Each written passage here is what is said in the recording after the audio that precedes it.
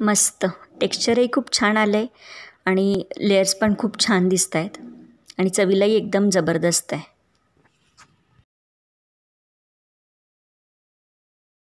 Hello friends welcome back to our channel sparkling stars आज आपण पंधरा ऑगस्ट निमित्त तिरंगी बर्फी कशी बनवायची ते बघणार आहोत.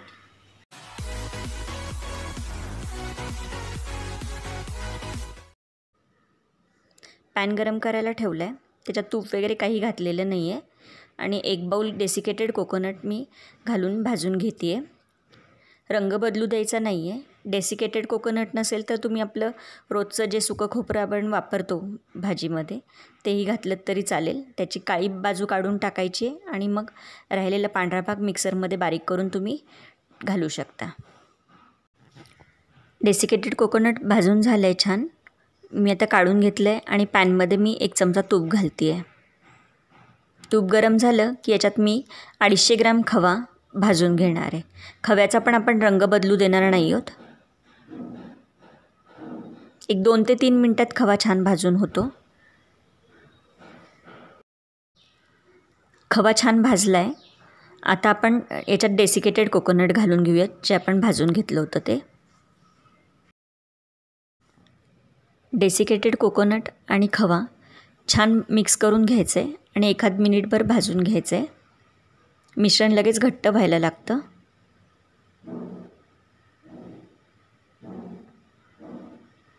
हे छान मिक्स झालं आहे की आपण याच्यात पाऊन बाऊल साखर घालणार आहोत.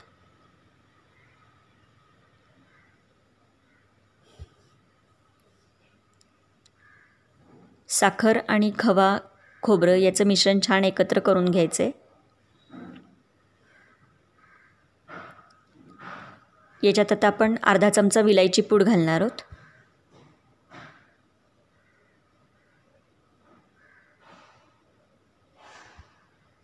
साखर मेल्ट होईपर्यंत हे सगळं मिश्रण एक चार ते पाच मिनटं शिजवून घ्यायचं आहे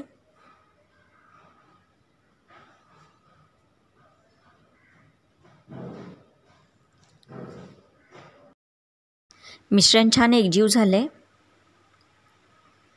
आणि आता तूप सोडायला लागलं आहे मिश्रण.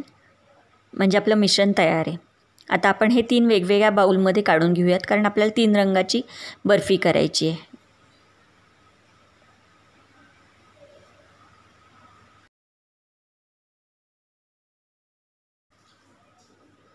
आता आपण तीन बाऊलमध्ये वेगवेगळे हे मिश्रण काढतो आहे अंदाजे काढायचे अगदी मोजून काढायची गरज नाही पण तरी म बऱ्यापैकी इक्वल प्रमाणात काढायचं आहे म्हणजे तिन्ही लेअर व्यवस्थित आपल्याला दिसतील. आपलं बर्फीचं मिश्रण तिन्ही बाऊलमध्ये एक समान काढून झालं आहे आता मी पहिल्या बाऊलमध्ये ग्रीन फूड कलर घालते आहे पाव चमचा.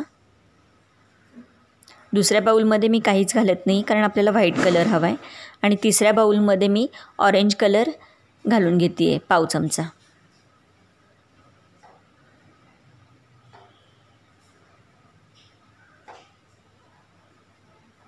ऑरेंज कलर आणि ग्रीन कलर आपल्याला व्यवस्थित मिक्स करून घ्यायचं आहे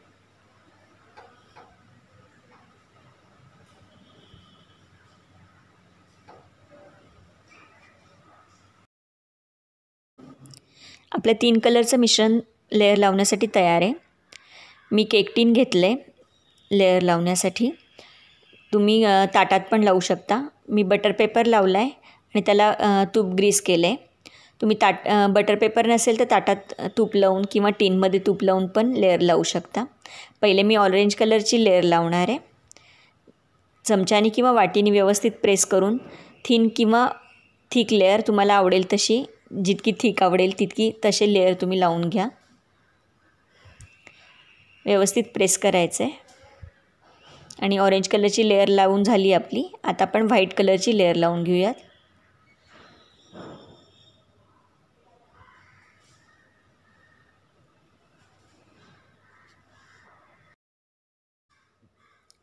चमच्याने व्यवस्थित एकसारखं प्रेस करायचं आहे आणि व्हाईट कलरची लेअर पण आपली लावून झाली आहे आता आपण ग्रीन कलरची लेअर लावून घेऊयात.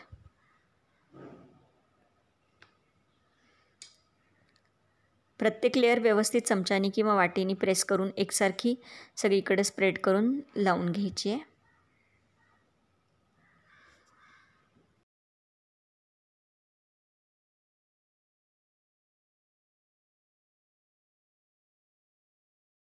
आपल्या तिन्ही लेअर लावून झाल्यात. आता हे सेट होण्यासाठी एक ते दीड तास असंच बाहेर ठेवायचं आहे किंवा वेळ नसेल तर वीस मिनटं फ्रीजरमध्ये तुम्ही सेट करण्यासाठी ठेवू शकता हे मिश्रण आणि मग याच्या वड्या पाडून घ्यायच्यात. बर्फी छान सेट झाली आहे मी वीस मिनटं फ्रीझरमध्ये ठेवली होती सेट करायला. आता आपण कट करून घेऊयात. तुम्हाला हव्या त्या आकाराच्या वड्या तुम्ही काढू शकता. लहान मोठ्या.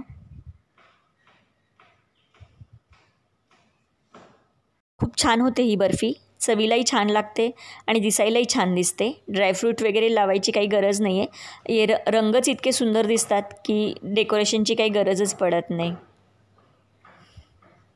मस्त वड्या पडल्यात. आता मी तुम्हाला एक उचलून दाखवते.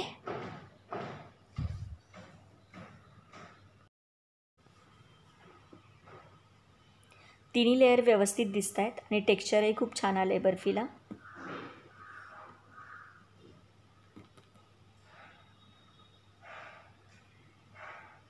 एक मी तुम्हाला तोडून दाखवते. आतमध्ये पण तीनही रंग व्यवस्थित दिसत आहेत कशी वाटली तुम्हाला आजची रेसिपी नक्की ट्राय करून बघा. आवडली असेल तर चॅनलला सबस्क्राईब करा. व्हिडिओला लाईक शेअर कमेंट करा. पुन्हा भेटूयात अशा छानशा रेसिपीसोबत तोपर्यंत बी सेफ कीप स्पार्कलिंग